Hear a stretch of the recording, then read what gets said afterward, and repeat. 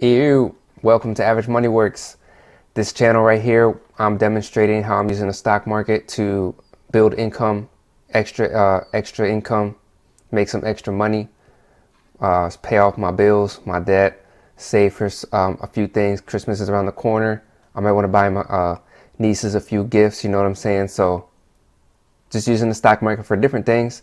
And I want to show you guys exactly how you can use the stock market for different things. And I'm documenting my own my own results, my own progress and all that here. So before we begin, none of this is a recommendation. None of this is advice. This is just me documenting my own journey towards financial freedom, reaching my financial goals. And I want to use this platform to show you guys that in real time. So, so far, just last week, we only did one move and I got a, basically I sold a put. So what that means is I agreed to buy the shares at a certain price and if the stock fell below that price by the expiration date of my contract, I would have to buy 100 shares. But it didn't do that. In fact, it went the opposite. So I was able to make all my money. I made $47. 2019 or 2119 is what I left in my account. And I withdrew $28 right here. And that's what got put into my, my savings. So right now I have $28. It may not seem like a lot, but you add that up over time and you know, that's money that you never had. So that's what I'm going to be doing. So right now I'm going to do a couple new options, a couple new plays, and I want to show you guys how I'm using, you know, $19 to get started. So you don't need thousands of dollars like they like people say, like you think. Um, you can get started with a dollar. You know what I'm saying? I'm gonna show you guys right now. So the first thing I'm gonna do is the same thing I did last time, which was I sold a put. So I'm going to buy the option on this, or I'm going to sell the option on this company right now. So you guys can see it's 1238, the 18th. So this option is going to expire in two days. And what I'm going to do is I'm going to sell this option saying that I'll buy these shares for $17. So right now they're trading at $7.99. So it has to drop 99 cents and go below 17 in order for me to buy the shares. Now, it sounds like a bad thing, but it's actually not because if I was to buy the shares right now, I'd be buying them at $17.98, but I'd basically be getting them for a discount at $17 if I have to get exercised. And I'm kind of doing it on this one just because I think it's a possibility I could get exercised and get assigned to these shares. So I want to be able to show you guys what you can do if you happen to get assigned. So I'm going to go ahead and um, sell this option right here and it's going to be the same as last time. So I'm going to get a credit of $20 not quite $50 like last week, but like I said, we're in this for the long run. So you can't look at the uh, you can't look at how much you're getting right now and and calculate all your your profits from that. All right, so right there it shows you minimum credit of $20, collateral 17, which basically means out of all my buying power, $1,700 is what I need just in case I have to buy the shares. So they're just gonna put it like in a uh, like an escrow account kind of. So let's go ahead and submit, see what happens here. And if that if that works out, we're gonna get $20 added to our buying power. So it'll be $39.98. Or if they did what we did to me last time and took two cents, it's gonna be a little off. So let's see what happens here. All right, there we go. So I got filled. Got my contract. So let me hit done. Let me go to right here. There we go. So um, my computer is slow as hell. All right, so I got the contract. $1,700 is on hold. I got $439. So you see that little 20 added. Not quite $20, but I'm just gonna round it up. It's all right to round up. Or I could just round down to the to the dollar below. That might be better. So actually let's put $19 here. So let me go to my thing and put this in my tracker. I got the slowest computer in the world. I'm gonna have to upgrade real soon. All right, so I got Palantir. I'm doing the wheel strategy just like this one. So let me just copy and paste it. Today's date is November 18th. We, we did a single contract. The contract expires on November 20th. And the strike price was $17. So I'm staying within my budget like I said, not paying attention to the credit that I'm getting because let's say I do get assigned, right? And I have to buy the shares for $17. and then next week it goes back up to $17.98 like I did. Even though I only make $19 here, if I have to sell my shares, I made $98 off the share price, off the share sale. So that's where this strategy comes, you know, in handy where if you get assigned, it's not even a bad thing because now you get to sell covered calls. So um, that's basically how this works. So I'm just gonna leave it like this, and I want to put, I want to buy two more things. So, all right, so I'm looking at American Airlines. I have all this crap here. Um, doesn't really mean anything to you guys, but to me, this is where I decide if I want to buy or sell something. Um, I always look at the chart, and right now I do want to buy this. So like I said, I'm trying to only make 5%. So that's where I put my, that's where I put my profit taking uh, zone basically.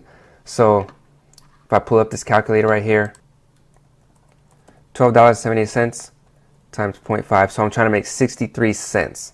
It don't sound nothing crazy. I could just try to go up for a dollar, but we'll see what happens.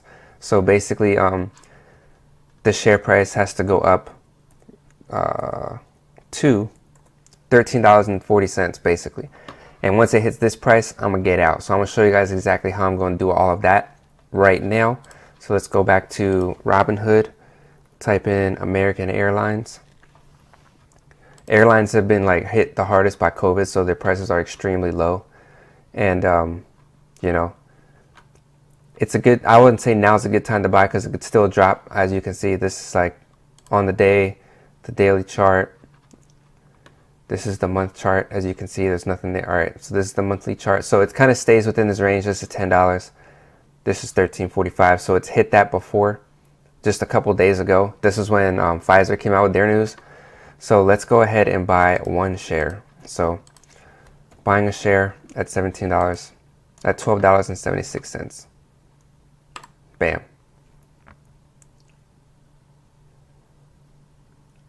All right, so here we go. I got my share. Right now I'm up two cents. Kind of nice. Obviously two cents ain't that much, but you guys will get to see how this all plays out. So let me put this on my tracker as well. So I'm on the Robin John. I got American Airlines. I'm just going to say um, stock. So I just bought stock. There's no expiration date, no contracts, or we can just put one. I'll put it in parentheses. Uh, what the hell?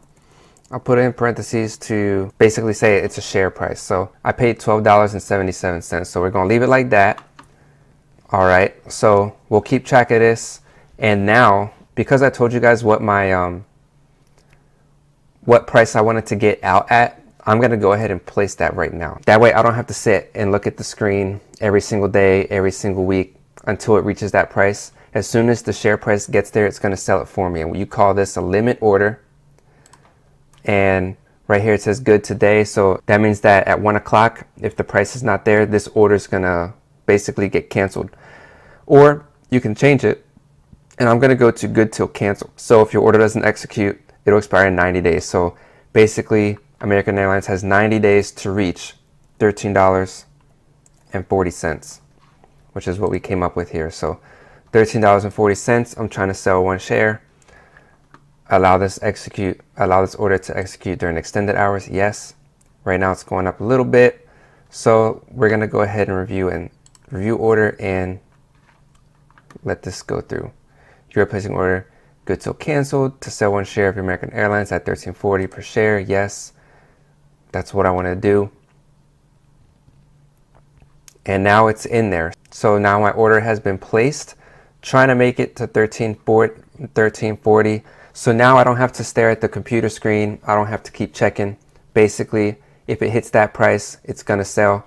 If it doesn't hit that price, my order stays there. So if you got work, working nine to five, you ain't got time to be looking at the screen all day, checking on your phone, seeing where it's at so that you can get out.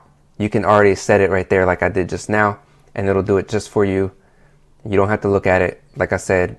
So we're to leave this here, trying to make it to 1340 really all we need is like some good news about airlines or whatever and it'll go up so we got that one set and now what I want to do is also show you guys how you don't need to buy shares right out so I'm going to go to Apple because Apple is a company that it's a good company you know what I'm saying it, you know it's not going anywhere and I was looking at the chart. Let me go to the chart.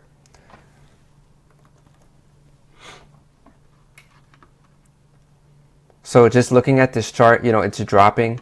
That doesn't mean that this is a, a bad time to buy. Really with Apple, anytime is a good time to buy. It's on an, a, a crazy uptrend. So what I want to do here is buy fractional shares. So I'm not buying actual shares. I'm buying by the dollars. So if you have a dollar, this is where I'm saying if you only have one dollar, you can still get in. So let me scroll down. What the hell is going on? All right, so I'm scrolling down. I have $427.19. What I'm gonna do, and I'm, I'm not gonna use that $19 that I got, so let me just do this math real quick because I'm kind of So I have $8. So I'm going to buy $8 worth of Apple. Fractional share. So I don't even have a whole share, but I just want to get in and get a piece of it. And we'll see what we get. So with this one, there we go, purchase. So I'm, I'm invested $8 into Apple as well. So now I have three positions. Let's go to, let's go back here. So now I have a fractional share of Apple and have a whole share of American Airlines. So with American Airlines, we already set our profit zone. So that's just going to sit there until it goes. With Apple, I'm just going to let this sit there and just monitor it every day and see where we are with the prices and gauge it that way. So two different ways. All three ways we're trying to make money. So we'll see what happens tomorrow. Let me put this in my tracker real quick. So same thing. Apple buying stock um, we can put today's date on these two.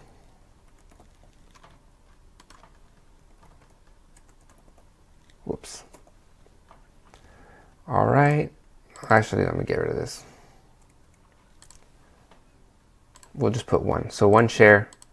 This is a fractional share. So what, what, let's put a, we'll put $8 in this one.